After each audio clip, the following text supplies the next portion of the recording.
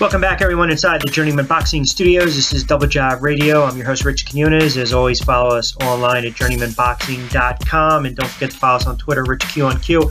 We also updated all the uh, golden and silver gloves activities across the country. Uh, we gave you some updates on the New York Daily News Golden Gloves. We'll stick to the theme of New York boxing. Uh, I think really one of the hardest working boxers uh, in the East Coast on the line right now. Tommy the Razor Rainone joins us for a couple moments, and I know a lot of people have called him the working class boxer, but his backstory is pretty impressive. It's pretty inspiring, and he's kind enough to join us on this edition of Double Jab Radio. And uh, Tommy, good to catch up, my friend. How's everything? Everything's good, man. Busy, you know, productive. Everything's good. You know, I, I, think the most interesting thing about your career, and we'll, we'll, get into it, is a lot of people don't understand what it's like when a guy kind of has to self promote, learn the ins and outs of the boxing industry, uh, work nine to fives or you know two jobs, get in training, find time to balance everything out. But you've been able to do that, and you've been able to do it successfully in your career. You know, talk a little bit about that, and and and, and how do you attribute, or what do you attribute that type of balance and work ethic to?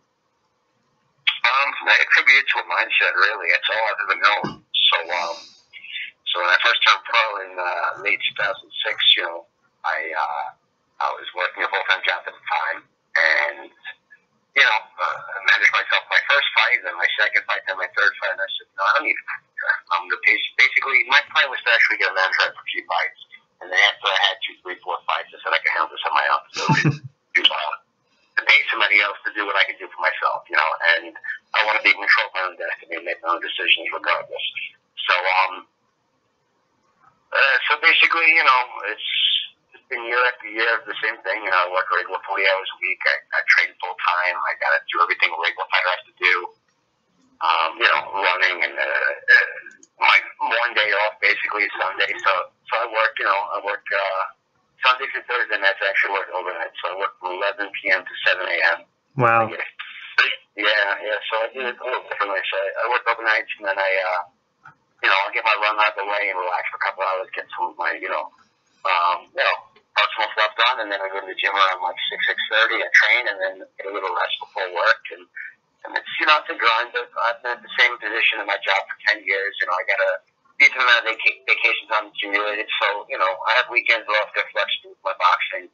Um, and again, like I said, it's a mindset. I mean, uh, you used to do something a certain way, and um, it just becomes a routine. Over overnights are overnights are brutal. I did overnights years ago doing radio in Ohio of all places, and it was about six months. It felt like I spent ten years up there. But overnights are just overnights. They they just mess with your body. Yeah, I mean, honestly, I'm, I'm fortunate where you know I walk in the door at 7.15. I wash my face, I brush my teeth, and I'm out cold by 7.30. I have no sleeping issues. On my nights off, you know, uh, I can fall asleep, no problem. At 10 o'clock or 2 in the morning makes no difference when yeah. I to go to sleep. So I got no sleeping issues, thank God. Uh, I think a lot of it has to do with the fact that I keep myself so busy with the with the boxing and work and running around that, you know what, when it's time to sleep, it's time to sleep. I'm, yeah. I'm able to just close my eyes and, and go to sleep. Yeah. And, um, again, it, a lot of it, it's just mental, you know, um, it would be great if you know I, I was in a position where I can just train, eat right, and rest right. You know, yeah. and, uh, and and that'd be a beautiful thing. You know, but uh, the sport is hard enough as is. You know, a lot of people, you know, even that way of life is not easy. I mean, I know a few people that box full time and that's all they do. And uh, and it's still a time, you know. And I tell them, you know, imagine packing on 40 hours of work a week on top of what you're doing right now. Imagine, imagine doing it that way, you know. Because people say, how do you do it? But I'm used to doing it. It's just, you know, it is what it is and, and I'm fine with it. And to tell you the truth, you know, after a fight, when I have a little downtime, I, it's almost too much downtime. You know, when I take a couple weeks off from the gym, I don't do myself. So now, just working a regular 40 hours a week, I kind of sit around. I'm like, ah, I'm bored. I got all this free time. You know, I'm not in the gym today. Uh, you know, so it's just what I'm used to. I want to go back. Uh, we'll talk about your last couple fights. Um, you had the, the, the big win, and I, I thought you dominated Carl McNickles um, for the USBO welterweight title uh, several months ago, and you moved around well. You kept your distance, and I, I, I didn't think the fight was after the second or third round. You just kind of controlled all the action. Um, and uh, it was it was it was a good win for you. And I know you you wanted an opportunity uh, to step up a little bit. They threw the young kid in there uh, against you, Dusty Hernandez Harrison. And I know uh, there's a lot of hype. There was a lot of hype surrounding him, and uh, quite frankly, you know, I've gone on record saying that I'd like to see him uh, step up his level of competition as his career progresses. And I know that was a tough, frustrating fight for you. Did did when it was all said and done, I guess uh, not the the the the worth the weight in gold, but did you did you did the hype was the hype confirmed? Do you think he's that great of a young fighter, or did he just do anything different and, and maybe just kind of kept you at bay a little bit? I know you were it was it was hard for you to get inside during that fight. Well, listen, I mean, he's a solid fighter. I knew going into the fight that he's a solid fighter. Um, in today's, you know, in this day and age, um, you have to the criteria for boxing for success of boxing is just so high. You know, um, you got great fighters like Pacquiao and Mayweather and Cotto, and then you got people complaining about about them all the time. So I mean, Mayweather and Cotto and Pacquiao are not good. Who is good? You know, Mhm, yeah. so.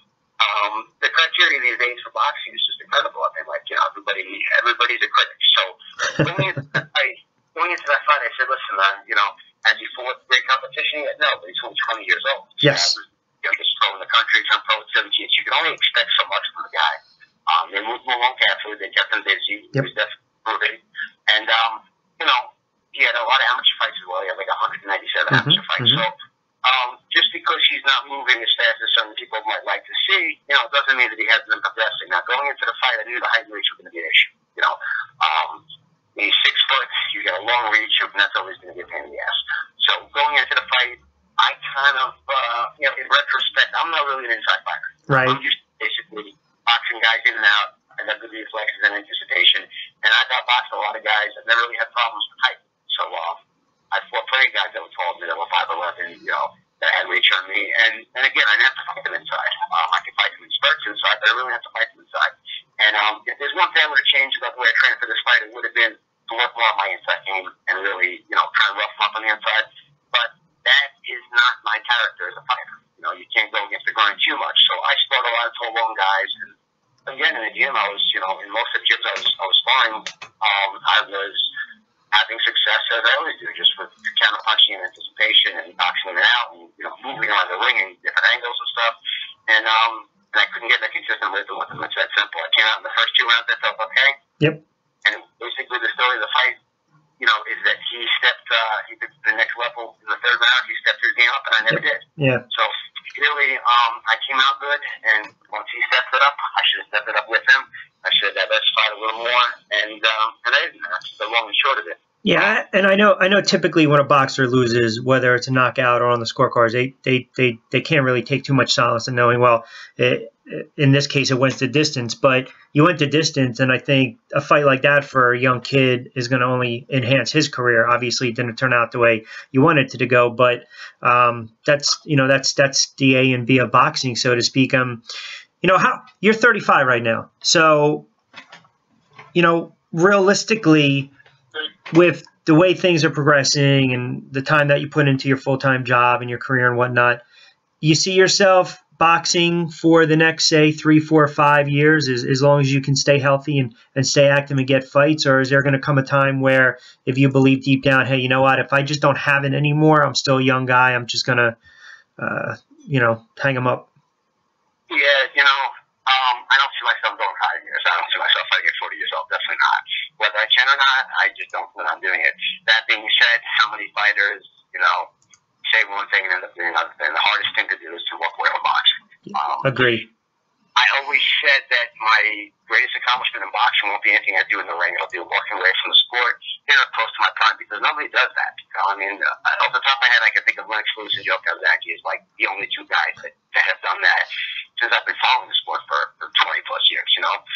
So what has always been held against me, because I, I turned pro at 20, almost 27 years old. I was like 29, uh, sorry, I was 26 years and like nine months old. So it's almost like I was always old for boxing. You know what I mean? I waited too long to turn pro. You know, I had personal problems to take care of and trade that. I wasn't mature enough to turn pro. And then when I finally did, you know, whether I was 2 and 0 or 5 and 0 or 8 0, it was still already 26, already 27. And you know, then he's 30. So the, the, that's always going to be kind of held against me. So now, you know, I just turned 35 years old in January. So, you know, now, you know, age is going to be looked at even, even more so than ever. But I really don't have a lot of mileage on me at all. I don't have a lot of wear and tear on me at all. So I feel as good as I've ever felt right now. You know, I, I feel better. I felt better for the McNickles fight than I might have felt in the last like three, four years because I trained, you know, I'm training harder and smarter and I know what to do to get myself in the best possible, you know, position to win a fight, to get myself in the best best situation to fight ten rounds easy. And my stamina is not an issue whatsoever. So the one thing with the with the Dusty Harrison fight, I mean, that fight flew by. I mean, it just went too quick. It was like one one second was the third round. I looked up, and it was the seventh round. I was running out of time, and I was shaking myself like, God, like, yeah. I wasn't an I mean, the fight flew by. It was a, it was a blur.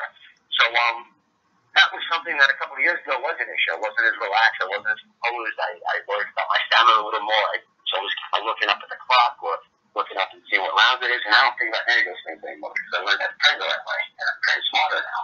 So I, I honestly feel like I can do this for, or I want to do this for about two more years, 10, 11 more fights, and that's it. And wherever I am at that point, regardless, just, just that's, that's, that's, that's all there is to it. You know, I want to basically, my goal to always have 10, a 10 year career in about 40 fights. Okay, well that, that that's fair and that's realistic. I mean, you got 29 fights right now, and you you turned pro in what 2006, and it's 2015. So you're right there. You're right on point. Yeah, pretty much. So um, you know. I think the fact I think the fact that you can turn around and actually acknowledge and admit and kind of you're realistic and you understand um, that that when I say understand, you understand where okay, I'm 35. Let me see what I have left in the tank, and I'm still healthy. If I can walk away in that regard, you know, to, to me, if you can kind of um, you know, you understand that. I, I, I, think that's a credit to you because a lot of fighters, they're stubborn, and you're right. The, the, the toughest sport to walk. I mean, I can yeah. name any, any fighter that you can name from Gatti to Mike Tyson to, to Micky Ward and Holyfield, and you look at all their records, and they all in the same way. Loss after loss. You know, they, they fought until they couldn't fight anymore, and that's what a fighter does. And uh, I just don't want to, you know, I want to leave boxing content. You know I mean, I don't want to leave with regrets and say, man, I wish I, I wish would have called it a day. You know, ten months ago, and not for those last three fights that I just lost. You know, it's up, it's up. Yeah. And, um, I'm not gonna, I'm not gonna, you know, push the envelope too far. Feel great right now. Now, thank goodness, I've been I've, since September. I've, I've fought three times. I'm fighting again. It's my fourth fight in, I think, five months or six months coming up. So I've been able to get busy. So I've stayed in shape, and I feel great. And um, and right now everything's going good. You know, so I'm trying to absorb as much as possible and take this as far as I can. I know that uh, after this fight, I'm looking at something big in May, um, probably on CBS Sports. Um, and I'm just trying to, you know, take it one fight at a time right now and just trying to do well as I can. You know, the, the fight was a tough situation going in because, I mean, obviously I'm fighting on the B side where I'm going against the, uh, the fighter's promoter. Yep. Everything is geared towards him. He's a talented kid. I'm giving up the height and reach. She's 20 years old. I mean, so, you know, it's a tough situation. I still know. I still Yeah. know that I can better. I truly know. But, but listen, I'm a realist. Everybody's got an excuse when they lose. I don't. I'm very honest with myself. Because if you make up excuses, you can't better yourself as a fighter or a person. So the way I look at it, you know what? I could have fought better against Dusty. I know I was capable of fighting better, but even if I fought better, does that necessarily mean that I win the fight? No. You know what? I would have liked to give a better account of myself and uh, and you know gone for broke a little more and done this and done that. Didn't happen. It went how it went, and uh, you know it was a learning experience. But uh, at the same token, you know. Listen, I mean, it's it is what it is. You know, I feel good going into this fight. It didn't hurt my confidence whatsoever. I'm glad I took the fight. You know, um, and I think he has a big future. Uh, two more again for you, and again uh, to close it out, a couple of minutes with uh, Tommy the Razor Rainone Double Jab Radio. Rich Quinones here. I know you have the fight coming up, uh, the venue where you beat um, uh, McNickles uh, the 13th of March. Um, I know uh, no opponent. Uh, any names out there floating that you are at liberty uh, to mention on the air? Everything got jammed up because originally I was the main event. The fight was on, on uh, Sports New York. I was the main event, and then they ended up combining shows because Got uh, it. Greg Cohen had uh, you know, here a Showtime date. So what they did is basically I'm going to main event the SNY portion of the show. And Got it. time right after my fight. So now I went from being the main event to listen. I'm no longer the main event. That's fine with me. I'll main event many more times. I have well, many main events already, so that's not a big deal. You know, it's still it's a bigger card. It's a Showtime card, which is cool. So it'll get a lot more press overall. Um, so my, I have not been their first priority where they have to lock up certain things, you know, beforehand now because I'm not the main event. Um, that being said, you know, like I said, Greg had uh, definitely earlier today. We're going to speak tonight. I told him I'll I get back from the gym tonight, and you know we'll go over some things and hopefully have it locked by the latest like Monday. Know, I don't want to push it too far. Good, good. And then uh, before I let you get out of here, if uh, you want to give any plugs, if you're doing anything for anyone uh, out there, I want to follow you uh, a little more closely, whether it's social media or not. I don't know if you're into Facebook, uh, do anything on Twitter, any websites, anything like that. Um, I always like to give yeah, everyone yeah, an opportunity. I got my website, um, my. Um, I got Instagram, which I started using. I actually had Twitter, but I don't use the Twitter yet. My brother does for me. I actually don't use my Twitter page yet, but because uh, he did Instagram and Twitter for me at the same time, leading up to the Harrison fight, and it was uh, I was focusing on my fight, and I couldn't I couldn't bother myself with that. Then I started messing around with Instagram. So Instagram is all me, Facebook is all me, and you know my website. He, he Twitter I'll get on eventually. I'll start, I'll start messing with that next week. you got too many pies in the oven, my friend yeah, man. In this day and age, you have to have all these things. I know it never. Listen, it never ends. All right, well, listen. Uh, oh, it, it's always good to catch up with you. Once, uh, let us know uh, about your opponent. If you get confirmation on that, definitely check back in, and uh, we'll make note of it. And uh, hopefully, uh, we can get you back on a little closer to the fight or after the fight. Always appreciate a couple moments. Absolutely, no problem. All right, Tommy. Be well. All right, catch you. All right, there you have it. A couple minutes with Tommy the Razor Rainone. Uh, he is a hard-working boxer, really doing it on his own. All right, we have a um, pretty good weekend as well, um, jam-packed to continue, as we alluded to. We'll probably talk to um, another hot prospect in Adam Lopez on Sunday's edition of Journeymen Boxing. Also, Monday, we'll take a look at uh, some action in the New York Daily News Golden Gloves. We'll also start to talk a little more female boxing, a bunch of cards uh, coming our way up and down the East Coast. Everyone, don't forget, Live from the Journeymen Boxing Studios, another special edition of Double Jab Radio. Special thanks to Casanova Boxing Gloves, Victory Boxing Gym in Cherry Hill, New Jersey, and of course the Atlantic City Pound, Atlantic City, New Jersey, the AC Pal, always making a difference. Everyone have a good Saturday night. Thanks for tuning in, and of course, worldwide on JourneymenBoxing.com, and our good friends in Spain and Latin America listening to us online. Oh, mercy para nosotros, amigos que nos escuchan en España y América Latina. Gracias por tu tiempo. Don't forget to follow me on Twitter, RichQ on Q. Lock us in at JourneymenBoxing.com. We have some great updated content as well as photos provided exclusively by our photographer, Shade Shagogi. Follow her on Twitter as well. S. Shogogi. Also, remember, it's not the destination, but it's the journey you should enjoy. Thanks for joining us as we always take you beyond the fight on Journeymen Boxing and, of course, Double Jab Radio. We will talk to you on Sunday. Thanks for tuning in. We'll see you next time ringside for a little more Boss Double Jab Radio.